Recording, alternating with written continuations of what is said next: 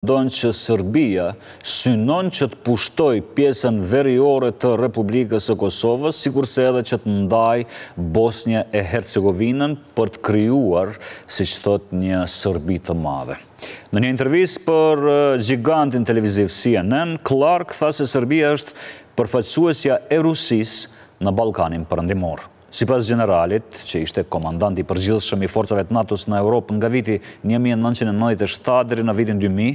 Serbia i shërben interesave ruse teksa presidenti i saj Aleksandar Vuçiç është dinak, dëshiron të duket sikur po luan me të dyja palët, por kur të vijë koha, ai do të bëjë atë që dëshiron Vladimir Putin.